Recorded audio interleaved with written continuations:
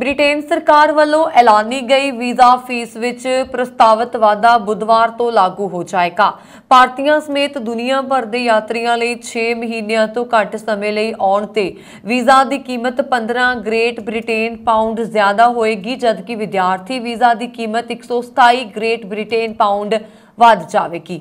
ਪਿਛਲੇ ਮਹੀਨੇ ਸੰਸਦ ਦੇ ਵਿੱਚ ਪ੍ਰਸਤਾਵਿਤ ਕਾਨੂੰਨ ਪੇਸ਼ ਕੀਤੇ ਜਾਣ ਤੋਂ ਬਾਅਦ ਯੂਕੇ ਦੇ ਗ੍ਰਹਿ ਦਫ਼ਤਰ ਨੇ ਕਿਹਾ ਕਿ ਤਬਦੀਲੀਆਂ ਦਾ ਮਤਲਬ ਹੈ ਕਿ 6 ਮਹੀਨਿਆਂ ਤੋਂ ਘੱਟ ਸਮੇਂ ਲਈ ਵਿਜ਼ਿਟਰ ਵੀਜ਼ਾ ਦੀ ਕੀਮਤ 115 GBP ਤੱਕ ਵੱਧ ਸਕਦੀ ਹੈ ਤੇ ਯੂਕੇ ਤੋਂ ਬਾਹਰ ਵਿਦਿਆਰਥੀ ਵੀਜ਼ਾ ਲਈ ਅਰਜ਼ੀ ਦੇਣ ਦੀ ਫੀਸ 490 GBP ਹੋ ਜਾਏਗੀ, ਜੋ ਕਿ ਦੇਸ਼ ਵਿੱਚ ਅਰਜ਼ੀ ਲਈ ਚਾਰਜ ਕੀਤੀ ਗਈ ਰਕਮ ਦੇ ਬਰਾਬਰ ਹੋਏਗੀ। ਅਜਿਹਾ ਉਦੋਂ ਹੋਇਆ ਹੈ ਜਦ ਬ੍ਰਿਟੇਨ ਦੇ ਪ੍ਰਧਾਨ ਮੰਤਰੀ ਰਿਸ਼ੀ ਸੁਨਕ ਵੱਲੋਂ ਜੁਲਾਈ ਵਿੱਚ ਐਲਾਨ ਕੀਤਾ ਗਿਆ ਸੀਗਾ ਕਿ ਵੀਜ਼ਾ ਬਿਨੇਕਾਰਾਂ ਲਈ ਬ੍ਰਿਟੇਨ ਦੀ ਸਰਕਾਰ ਵੱਲੋਂ ਫੰਡ ਪ੍ਰਾਪਤ ਨੈਸ਼ਨਲ ਹੈਲਥ ਸਰਵਿਸ ਨੂੰ ਅਦਾ ਕੀਤੇ ਜਾਣ ਵਾਲੀ ਫੀਸ ਅਤੇ ਸਿਹਤ ਸਰਚਾਰਜਰ ਵਿੱਚ ਦੇਸ਼ ਤੇ ਜਨਤਕ ਖੇਤਰ ਦੀ ਤਨਖਾਹ ਵਾਧੇ ਨੂੰ ਪੂਰਾ ਕਰਨ ਦੇ ਲਈ ਮਹੱਤਵਪੂਰਨ ਵਾਧਾ ਹੋਣ ਜਾ ਰਿਹਾ ਹੈ।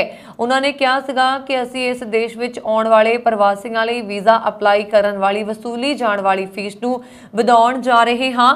ਉਹਨਾਂ ਨੇ ਕਿਹਾ ਕਿ ਉਹ ਸਾਰੀਆਂ ਫੀਸਾਂ ਵਧਣ ਜਾ ਰਹੀਆਂ ਨੇ ਅਤੇ ਇਸ ਨਾਲ ਜੀਬੀਪੀ ਵਿੱਚ 1 ਅਰਬ ਤੋਂ ਵੱਧ ਦਾ ਵਾਧਾ ਹੋਏਗਾ। ਇਸ ਲਈ ਹਰ ਤਰ੍ਹਾਂ ਦੀ ਵੀਜ਼ਾ ਅਰਜ਼ੀ ਫੀਸਾਂ ਵਿੱਚ ਭਾਰੀ ਵਾਧਾ ਹੋਣ ਵਾਲਾ ਹੈ ਅਤੇ ਇਸ ਤਰ੍ਹਾਂ ਲਈ ਐਚਐਸ ਲਈ ਵੀ। ਗ੍ਰਹਿ ਦਫ਼ਤਰ ਨੇ ਜ਼ਿਆਦਾਤਰ ਕੰਮ ਤੇ ਯਾਤਰਾ ਵੀਜ਼ਾਸ ਦੀ ਲਾਗਤ ਵਿੱਚ 15% ਦਾ ਵਾਧਾ ਤੇ ਤਰਜੀਹੀ ਵੀਜ਼ਾ, ਅਧਿਐਨ ਵੀਜ਼ਾ ਤੇ ਸਪਾਂਸਰਸ਼ਿਪ ਦੇ ਸਰਟੀਫਿਕੇਟਾਂ ਦੀ ਲਾਗਤ ਵਿੱਚ ਘੱਟੋ-ਘੱਟ 20% ਵਾਧੇ ਦਾ ਸੰਕੇਤ ਦਿੱਤਾ ਹੈ ਯੂਕੇ ਵਿੱਚ ਪ੍ਰਵਾਸੀਆਂ ਦੀ ਭਲਾਈ ਲਈ ਸੰਯੁਕਤ ਕੌਂਸਲ ਨੇ ਕਿਹਾ ਕਿ ਯੂਕੇ ਵਿੱਚ ਆਪਣਾ ਘਰ ਬਣਾਉਣ ਵਾਲੇ ਲੋਕਾਂ ਲਈ ਵੀਜ਼ਾ ਫੀਸਾਂ ਵਿੱਚ ਵਾਧਾ ਕਰਨਾ ਨਜਾਇਜ਼ ਵੰਡਣ ਵਾਲਾ ਅਤੇ ਖਤਰਨਾਕ ਹੈ। ਖਾਸ ਕਰਕੇ ਸੰਕਟ ਦੇ ਸਮੇਂ ਵਿੱਚ। ਉੱਚ ਵੀਜ਼ਾ ਲਾਗਤਾਂ ਕਾਰਨ ਸਾਡੇ ਪਰਿਵਾਰਾਂ ਕੋਲ ਪਹਿਲਾਂ ਹੀ ਜ਼ਰੂਰੀ ਚੀਜ਼ਾਂ ਲਈ ਨਕਦੀ ਨਹੀਂ ਹੈ।